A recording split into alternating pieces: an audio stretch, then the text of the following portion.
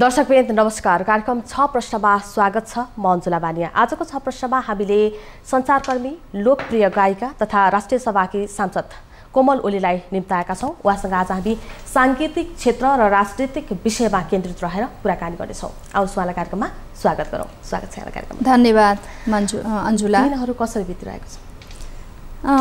आजभोलि त अब राजनीतिक गतिविधिमै बितिराखेछ। फुर्सद भयो भने दाङ जान्छु। नत्र यहाँ चाहिँ अब संसद चलिराखेछ बर्खे अधिवेशन। अब अधिवेशनमा विभिन्न विधेयकहरू आइरहेका छन् अनि विधेयकहरूको तयारी विधेयकहरू पास गर्ने त्यही कुरामा बितिराखेछ। अलिकति राष्ट्रिय सभातिर केन्द्रित भएपछि अब नजिकै आउँदै गरेको तिजलाई बिर्से जस्तो महसुस गर्नुभयो? छैन छैन। बिर्स्या छैन। मेरो गीत आइसक्यो। मेरो र बहिनीको गीत तिजको गीत आइसकेको छ। छड्के तिला छड्के तिलहरी। अनि पहिला चाहिँ अब तिज भन्ना साथ कोमलोली यति बेला छमछम नाचिरहेको देखिन्थ्यो सायद। अहिले चाहिँ त्यति नआएको हो कि भन्ने महसुस दर्शकहरूले श्रोताहरूले गरेको हो कि भन्ने यो यो वर्ष यो यो वर्ष चाहिँ अ, अञ्जुला धेरै गीत गर्न पाइनँ। अलि व्यस्त पनि थिएँ र मेरो स्वास्थ्य पनि ठिक थिएन। तर गाउनको लागि चाहिँ धेरै गायक गायिकाहरू गीतकारहरू आउनुभएको थियो। र मैले र मेरो बहिनीले चाहिँ एउटा गऱ्यौँ। गरिराखेको हुनाले दर्शक श्रोताहरूको चाहिँ सामाजिक सञ्जालमा टेलिफोनमा अनि उहाँहरूले जिज्ञासा राखिरहनुहुन्छ खै तपाईँको गीत कहिले आउँछ ग- गीत गर्नु होला प्लिज भनेर माग गर्नुहुन्छ अनि त्यही भएर चाहिँ गीत गरेको छु गीत निरन्तरताको। लागि गरेँ यहाँ अब सबैलाई मन पनि परेको थियो एकदमै एकदमै। पहिलादेखि नै। म र मेरो बहिनीको ओली सिस्टर्सको गीत हो। त्यो चाहिँ सबैलाई मन पनि परेको थियो अनि त्यही भएर चाहिँ। हामी अन्त्य अन्त्यमा यो गीत त पक्कै सुन्छौँ। ए। मैले जब म सानो थिएँ त्यति बेला कोमल दिदीको आवाज रेडियो नेपालबाट सुन्दाखेरि लाग्थ्यो मलाई ओहो म पनि यस्तै समाचार वाचन गर्ने मान्छे बन्छु है। त्यस पछाडि गीत सुन्न थालेँ। गीत सुन्दा ओहो म त गायिका पनि बन्नुपर्छ जस्तो लाग्थ्यो। त्यति एकदमै लोकप्रिय गायिका एकदमै प्रष्ट वाचन गर्न सक्ने क्षमता भएको एउटा समाचार वाचिका हुँदा हुँदा एकैचोटि फ्याक्ट राजनीतितिर लाग्नुभयो। यो चाहिँ भाग्यले डोराएको हो कि अथवा पहिलेदेखिको यो चाहिँ कार्ययोजना नै थियो? होइन यो त तपाईँले जसरी भन्नुभयो त्यसै गरी सबै दर्शक श्रोताहरू आमा बुवा दिदीबहिनी दाजुभाइहरूले चाहेर नै म यसमा आएको। किनभने पत्रकारिता क्षेत्रमा पनि मैले राम्रो गरेँ। अनि सङ्गीत क्षेत्रमा पनि राम्रो गरेँ गर्दैछु। अनि त्यसै कारणले गर्दाखेरि सबैजनाले चाहिँ तपाईँ राजनीतिमा आउनुहोस् पनि भन्नुभयो। र मलाई पनि राजनीतिमा आएर देशमा जनताको लागि देशको लागि केही गर्ने इच्छा थियो। त्यसको लागि म चाहिँ समय उपयुक्त समय र गर्न सक्ने बेला हेर्दै थिएँ। राजनीतिका लागि प्रवेश गर्ने उपयुक्त समय र काम गर्न सक्ने अवसर खोज्दै थिएँ म। त्यो चाहिँ यो बेला मलाई ठ्याक्क मिल्यो। त्यसपछि म चाहिँ सबै कुरा चट्ट छोडेर यसमा लागेँ। हुन त समाचार वाचन गर्दाखेरि पनि अब देशलाई अब सेवा नै थियो। सेवा नै थियो सङ्गीत क्षेत्रबाट पनि सेवा नै हो। पत्रकारिता क्षेत्रबाट समाचार वाचन गर्दाखेरि अब यो तपाईँले अहिले कार्यक्रम चलाइरहनु भएको छ। देशको देश र जनताको राम्रोको लागि कुरा गरिरहनु भएको चाहिँ पनि तपाईँको ठुलो सेवा हो। मिडिया एउटा यस्तो मिडिएटर हो जसले गर्दाखेरि चाहिँ जनताका कुरा सरकारसम्म पुर्याउन सक्छ। सरकारका कुरा जनतासम्म पुर्याउन सक्छ। त्यस कारणले हामीले यहाँ यहाँ हुँदाखेरि चाहिँ जहिले पनि विभेद रहित होइन एबिसी भन्छौँ नि। त्यसलाई चाहिँ ध्यान दिएर काम गर्नुपर्छ र त्यसै अनुसार नै देशको सेवा हुने हो। त्यसै अर्थमा पनि देशको सेवा गरिरहेको थिएँ तर राजनीतिमा आइसकेपछि चाहिँ म अहिले नीति निर्माण गर्ने ठाउँमा छु। होइन? कानुन बनाउने ठाउँमा छु। म चाहिँ अहिले जनताको आवाजलाई बोल्न सक्छु। जनताको आवाज सरकारसम्म प्रत्यक्ष रूपमा पुर्याउन सक्छु। मैले तुरुन्त सरकारसँग कुनै पनि जनताको जनसरोकारका विषयहरूमा प्रश्न सोध्न सक्छु। सरकारले त्यसको जवाफ दिनुपर्ने हुन्छ। त्यस कारण म त्यो जवाफदेहिता त्यो चाहिँ उत्तरदायित्व प्राप्त गर्ने ठाउँमा चाहिँ छु क्या म। ठिक छ हामीले चाहिँ नेपालमा महिलाको अवस्था कस्तो छ राष्ट्रिय सभामा महिला सांसदहरूले राखेका कुराहरू कतिको सुनिन्छन् भन्ने विषयमा हामी आउला। त्योभन्दा अगाडि मैले सोध्न चाहेँ श्रोताका लागि समाचार ल्याउने तपाईँ त्यसपछि मनोरञ्जन दिने तपाईँ गीत सङ्गीतका माध्यमबाट त्यसै समाजलाई सुसूचित भइरहेको थियो त्यसमा राजनीतिमा आउनुभयो। कहिलेकाहीँ लाग्दैन म त्यहीँमा ठिक थिएँ अहिले यता आएर अलिकति गल्ती गरेँ कि अथवा एकदम गज्ज भएछ म यहाँ आएर भन्ने होइन। गल्ती त कदापि हुँदैन। म जस्तो भाग्यमानी म जस्तो चाहिने मेहनती होइन? म जस्तो चाहिँ नि मतलब सृष्टिको उत्कृष्ट क्रिएसन के हुनसक्छ र? किनभने चाहिँ म जब सानो थिएँ अन्जुला म गाउँमा पनि सांस्कृतिक कार्यक्रमहरू गर्ने केटाकेटीहरू जम्मा गरेर नाच्ने गाउने सबजनालाई बोल्न सिकाउने वक्तृत्व कला सिकाउने हाजिरी जवाब सिकाउने त्यस्तो गर्थेँ म गाउँमा सानो हुँदाखेरि। अनि त्यसपछि चाहिँ जब म कलेजमा पढ्न थालेँ कहिले हामी स्कुलमा कलेजमा पढ्दा हामी कहिले फुर्सद हुँदैन थियो। एभ्री टाइम हामी एभ्री डे क्रिएटिभ काममा लागिरहन्थ्यौँ। खेलकुददेखि लिएर गीत सङ्गीतदेखि लिएर एकदम त्यस्तो सेवा गर्ने मलाई मौका मिल्यो। स्कुलमा पनि लाग्छ मलाई मेरो सरहरूले जहिले सम्झिनुहुन्छ होला। मेरो साथीहरूले पनि मलाई जहिले पनि सम्झिनुहुन्छ जहिले पनि भन्नुहुन्छ जहिले पनि स्याबासी दिनुहुन्छ होइन? सानो कोमल यहाँ पुग्छौ भन्ने हामीलाई त्यही बेला लागेको थियो भन्नुहुन्छ कि अहिले भेट्दाखेरि?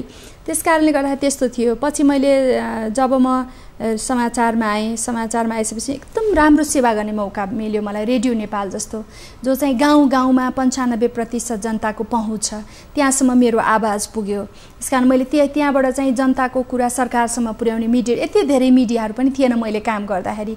गर्दा गर्दै थपिँदै थपिँदै बाहन्न सालदेखिको विकासक्रम हो यो। त्यस कारणले गर्दाखेरि चाहिँ त्यस्तो भयो। गीत सङ्गीतको क्षेत्रबाट पनि म नगएको मेरो जिल्ला मेरो यो देशका कुनै गाउँठाउँहरू बाँकी छैनन्। म जहाँ पनि पुगेकी छु आमा बुवा दिदीबहिनी दाजुभाइहरूसँग नजिक बसेर गीत गाएकी छु। त्यहाँ गएको बेला म गीत मात्रै गाउँदिनँ थिएँ। उहाँहरूका समस्याहरू के के छन् त्यहाँको त्यो जिल्लाको त्यो ठाउँको मुख्य सामाजिक समस्याहरू के के हुन् आर्थिक समस्याहरू के के छन् विकास कति भएको छ त्यहाँको चाहिँ महत्त्वपूर्ण सांस्कृतिक ऐतिहासिक ठाउँहरू स्थानहरू के के हुन् होइन सब जानेर बुझेर टिपेर लिएर आउँथेँ कि म? किनभने चाहिँ म त्यति कन्सर्न मेरो देशको लागि म त्यति साह्रो चाहिँ आफूलाई चाहिँ यो प्रति म मेरो जिम्मेवारी हो। छ भन्ने कुरा चाहिँ मलाई फिल हुन्थ्यो। एज अ गायिका गायिका भएर गाएर होटेलमा बसेर आए पनि हुन्थ्यो। म बिहान हरेक त्यहाँ मठ मन्दिरहरू धार्मिक सांस्कृतिक ऐतिहासिक के के स्थलहरू छन् सबै बिहान फुर्सद भयो कि म हरेक दिन म जाने। होइन कुनै ठाउँमा पनि मैले बाँकी राखेको छैन। त्यस कारणले गर्दाखेरि अहिले त झन् अब मलाई यति ठुलो एउटा नेकपा एउटा ठुलो पार्टी हो। ठुलो पार्टी हो। त्यो पार्टीभित्र चाहिँ आइसकेपछि त्यो पार्टीमा बसेर काम गर्न पाउनु भनेको आठ लाखभन्दा बढी हाम्रो सदस्य छौँ हामी। त्यस कारण यति ठुलो पार्टीको एउटा सदस्य कार्यकर्ता। त्यसमा पनि राष्ट्रिय सभाको सदस्य होइन? राष्ट्रिय सभा भने यस्तो गरिमामय संसद हो यस्तो सभा हो जहाँ चाहिँ हामी सुझबुझका साथ विशेषज्ञताका साथ ज्ञानका साथ होइन? अनि त्यहाँ हाम्रो हाम्रो चाहिने प्रज्ञा प्रयोग गर्नुपर्ने हुन्छ। त्यस कारणले गर्दाखेरि त्यस्तो स्थानमा चाहिँ काम गर्ने मलाई अवसर मिल्यो। त्यस कारणले म त ओहो मैले नछोडेको भए हुन्थ्यो होइन? केही टाइम केही समयसम्म मात्रै हो काम गर्ने भनेको चाहिँ यस्ता ठाउँहरूमा एक दिन त हामी रिटायर जरुर हुन्छौँ होइन? त्यहाँबाट त्यो समयावधिबाट हामी अवश्य नै बाहिरिनुपर्छ। त्यसै कारणले गर्दाखेरि चाहिँ मलाई कहाँ पछुतो लाग्ने? यस्तो राम्रो काम गर्ने मौका मिलिराखेछ। दुई हजार बहत्तरको जब संविधान आयो त्यसपछि हाम्रा धेरै कानुनहरू हामीले बनाउने अहिले नै थियो के? यो गएको वर्षदेखि। अहिले पनि हामी निरन्तरतामा छौँ। होइन? अहिले पनि हामी कानुन बनाउनेमा सकिया छैन अझै। त्यस कारण त्यो बेलादेखि अहिलेसम्म अब अहिलेको लागि हाम्रो लागि कानुन र यो कानुन चाहिँ आउने पुस्ताको लागि। आउने पुस्ताको लागि कानुन निर्माण गर्ने ठाउँमा बसेर काम गर्नु पाउनु भने त मेरो लागि एकदमै गौरवको कुरा हो। राष्ट्रिय सभामा हुनुहुन्छ यहाँ। संसदभित्रका कुराहरू भन्नुभन्दा पनि तपाईँ यहाँ ठाउँ ठाउँ घुमिसके धेरै ठाउँहरूमा घुम्नुभयो। तपाईँ जहाँ पुग्नु भएन त्यहाँ तपाईँको आवाज त स्योर पुग्यो। तर धेरै ठाउँमा आफै पुग्नुभयो। त्यहाँका जुन समस्याहरू हेरे नजिकबाट निहाले भन्नुभयो। अहिले नेपालमा चाहिँ महिलाहरूको अवस्था कस्तो रहेछ? के बुझ्नुभयो? सबैभन्दा हामीलाई हामी पछाडि परेको महिलाहरू पछाडि परेको अथवा शोषित भएको पीडित भएको अगाडि आउन नसकेको कारण शिक्षा नै रहेछ। शिक्षा हो जहाँ चाहिँ हामी एक त सहर बजारमा चाहिँ अब जति पढे लेखे पनि दिदीबहिनीहरू बाहिर ननिस्किने गाउँघरमा चाहिँ शिक्षाको गुणस्तर छैन। एक त छोरीलाई राम्रोसँग पढाइँदैन। त्यहाँ पनि विभेद गरिन्छ छोरीलाई। छोरालाई राम्रो बोर्डिङ स्कुलमा पढाइन्छ छोरीलाई पढाइँदैन। यी कुराहरूले गर्दाखेरि छोरी चाहिँ आज पनि हामीले सोचेको जस्तो अवस्थामा छैन। तर निरीह चाहिँ छैन है छोरीहरू। अहिले राजनीतिक जुन किसिमको विगतमा राजनीतिक प्रशिक्षण राजनीतिक रूपले जसरी अवेरनेस चेतना फैलियो। त्यसले गर्दा छोरीहरू चाहिँ बलियो भएका छन्। हाम्रो अधिकार हो हामी बोल्न पाउनुपर्छ। हामीले चाहिँ यो अधिकार पाउनुपर्छ भनेर छोरीहरू लड्न सुरु गरिसकेका छन्। तर जुन किसिमको विकास हुनुपर्ने सुनिन्नन् भन्ने पनि होइन अहिले त अब तपाईँहरू पनि गाउँ गाउँमा पुग्नु भएको छ मिडियाहरू होइन? गाउँघरमा दिदीबहिनीहरूसँग कुरा गर्नु भएको छ। त्यसैले छोरीहरू पनि मलाई लाग्छ आजको हिजोको तुलनामा छैन सुधारोन्मुख छ पर्याप्त रूपमा सुधार भइसकेका छैन। हस् ब्रेकपछि फेरि जोडिन्छौँ। दर्शक पनि छ प्रश्न अझै बाँकी छ अहिलेलाई ब्रेक।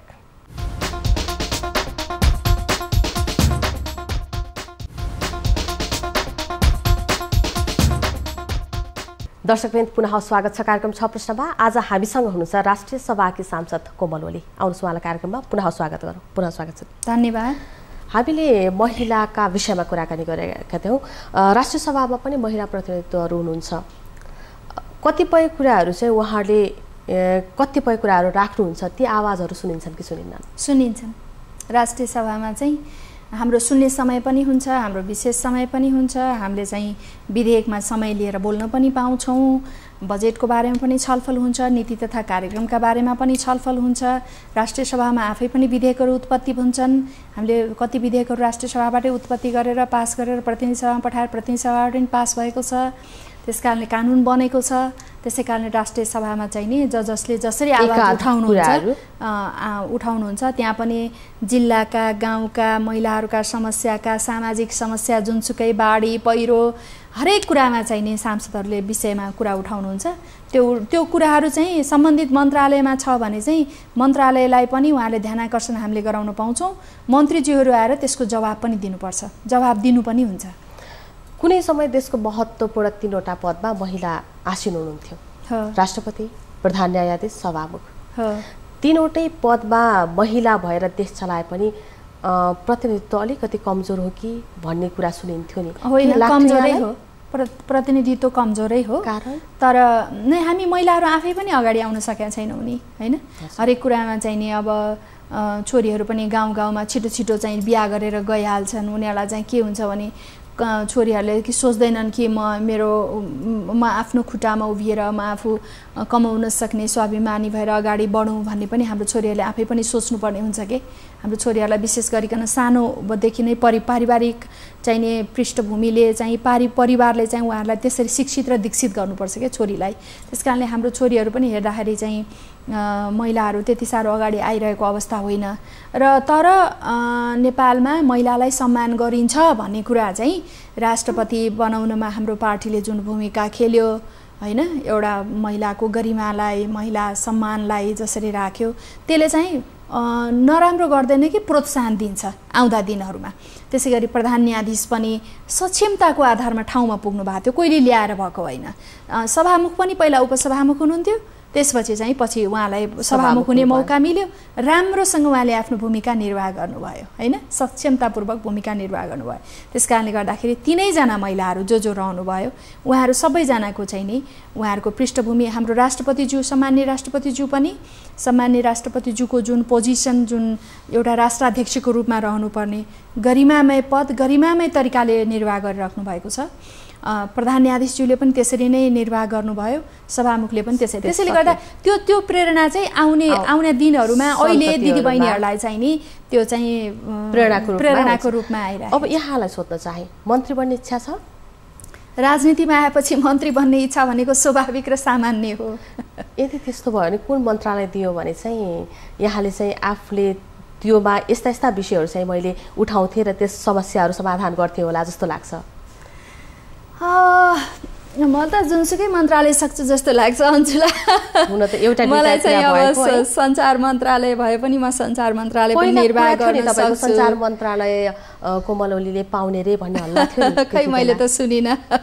मैले सुनिनँ। त्यो चाहिँ पार्टीले नेताहरूले उपयुक्त ठानेमा दिने पदहरू हुन् मन्त्री भनेको चाहिँ। अहिले पनि अहिले चाहिँ जति पनि मन्त्री हुनुहुन्छ सबै हामी मन्त्री भए बराबरै हो उहाँहरू पनि। किनभने हाम्रै पार्टीको मान्छेहरू मान्यज्यूहरू मन्त्री हुनुहुन्छ होइन? त्यस कारणले गर्दा फरक परेन। तर मलाई चाहिँ जब यो विभिन्न व्यापारमा घाटा विभिन्न कुरामा हामीले मल पाइरहेका छैनौँ हामीलाई चाहिँ नि विषादयुक्त खाना खुवाइरहेको छ भनेर भन्छन्। त्यस कारणले चाहिँ भारतसँग सम्बन्धित उद्योग वाणिज्यसँग सम्बन्धित कृषिसँग सम्बन्धित कुरामा चाहिँ विदेशका मित्र राष्ट्रहरूसँग उनीहरूसँग टेबल टक गरेर आफ्नो राइट जस्तै हाम्रो अलैँची पठाउन दिँदैन। हाम्रो चियालाई चाहिँ दोस्रो दर्जाको रूपमा गराएर विदेश पठाउँछ होइन? जति पनि राम्रो चिया चाहिँ भारतीय उत्पादनको कम्पनीको ट्याग लगाएर पठाउँछ सिक्किम दार्जिलिङ भनेर त्यसपछि नराम्रो चिया मात्रै हाम्रो चाहिँ नेपालको भनेर पठाउँछ अरे। त्यस कारणले गर्दा यी कुराहरू चाहिँ विदेशले जसरी हाम्रो हामीले हाम्रा छरछिमेकबाट जुन किसिमको जुन किसिमको हाम्रो समस्याहरू झेलिरहेका छौँ नि योसँग प्रतिवाद गर्ने मन्त्रालयमा काम गर्न मन लाग्छ। मलाई अलिकति जान्न मलाई कुनै समय चाहिँ कोमल ओली राज संस्थासँग जोडिनु भएको थियो। यसलाई जोड्न मन लाग्यो मलाई। त्यो धेरै पुरानो कुरा भयो अन्जुला किनभने चाहिँ सबैजना त्यो बेलामा राजनैतिक दलले राज संस्था राजतन्त्र राज राज संवैधानिक राजतन्त्र भएको राज संवैधानिक राजा भएको व्यवस्थालाई छयालिस सालपछि सबै पार्टीहरू नै हुनुहुन्थ्यो। सबैले मान्नु भएकै थियो। मान्नु भएको थियो। एउटा चाहिँ राप्रपामा त्यसपछि चाहिँ म राप्रपामा गएको थिएँ। राप्रपाको केन्द्रीय सदस्य पनि भए पछि चाहिँ मैले यसो हेरेँ राप्रपा टुट्दै फुट्दै पनि गयो। होइन विभिन्न सानसानो अब एउटा ठुलो राप्रपा बनिसकेको थियो एउटा वैकल्पिक शक्तिको रूपमा। तर राप्रपा यस्तो अवस्थामा आयो कि टुट्दै फुट्दै आयो। कारण चाहिँ मैले यसो हेरेँ उपयुक्त अब मेरो लागि चाहिँ राजनीति गर्नलाई म उभिनुपर्छ जमिनमा। कार्यकर्ता र जनतासँग नजिक भएर काम गर्नुपर्छ। मैले एउटा त्यस्तो पार्टी जो राष्ट्रवादी पार्टी नीति र सिद्धान्त चाहिँ जनौ जनौ जनमुखी छ जनताप्रति उत्तरदायी सम्झिन्छ आफूलाई। त्यस्तो पार्टीको कार्यकर्ता हुनुपर्छ भनेर म नेकपा प्रवेश गरेँ। नेकपा पार्टीमा चाहिँ तर राम्रो राप्रपामा भन्दाखेरि कम्युनिस्टमा अलिकति अवसर प्राप्त भयो त्यो कारणले गर्दा होइन होइन मान्छेहरूले त्यसो भन्नुहुन्छ। धेरै पनि त नि अहिले धेरै नेताहरू ठुल्ठुलो प्रधानमन्त्री भइसक्नुभएका नेताहरू पनि विभिन्न पार्टीमा गएर मर्ज भइराख्नु भएको छ अरू पार्टीहरूमा होइन? त्यस कारणले गर्दाखेरि नेकपा र नेकपा माओवादी पनि त छुट्टा छुट्टै पार्टी हुन्। अहिले एउटै पार्टी भएर एउटा सैद्धान्तिक रूपमा एक भएका पार्टीहरू एक हुनुपर्छ भनेर भइराखेका छन्। हिजो एउटा दलमा भएका पार्टीका नेताहरू अहिले अर्को पार्टीमा प्रवेश गरिरहनु भएको छ। यो चाहिँ राजनीतिमा चाहिँ अवसर र अवसर खोजेर मात्रै जाने होइन कि आफूलाई त्यो समयमा होइन हामी यस्तै पनि त थिएनौँ नि मान्छे परिवर्तनशील त हुन्छ नै। कुन समयमा चाहिँ कुन ठाउँमा उभिँदाखेरि आफ्नो लागि र देश र जनताको।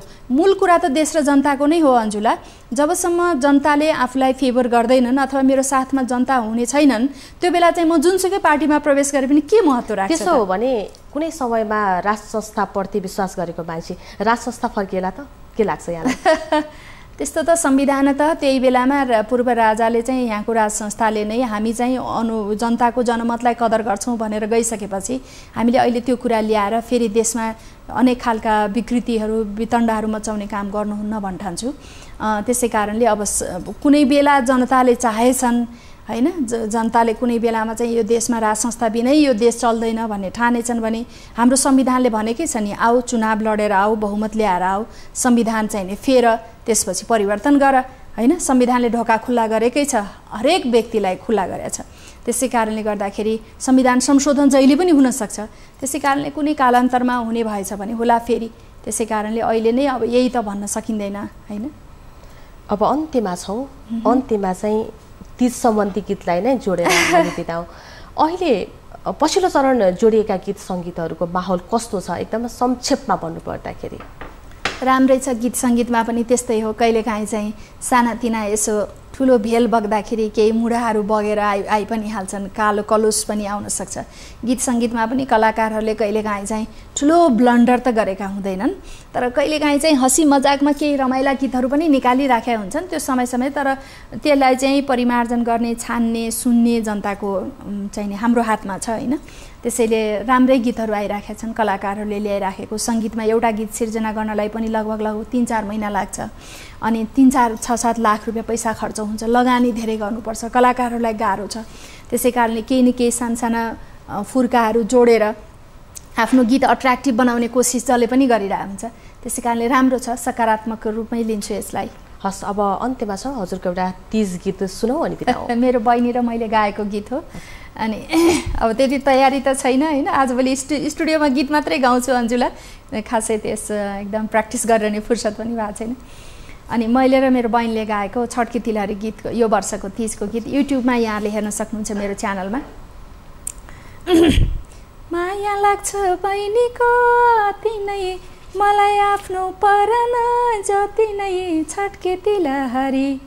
माया लाग्छ बहिनीको अति नै मलाई आफ्नै परन जति नै छड्के तिलहरी घिन घिन घिन मादलो नाच्देऊ बहिनी मायालु आहै लरीबरी हुर्के बढे दिदीकै काखैमा राखे पनि बिझाउन आँखैमा छड्के तिलहरी। यो मेरो बहिनीले भन्छ। अनि यो चाहिँ एकनारायण भण्डारीले शब्द र सङ्गीत एकनारायण भण्डारीको हो। र एकदमै राम्रो गीत छ। यो वर्षको तिजको लागि सबै दिदीबहिनीलाई उपहार।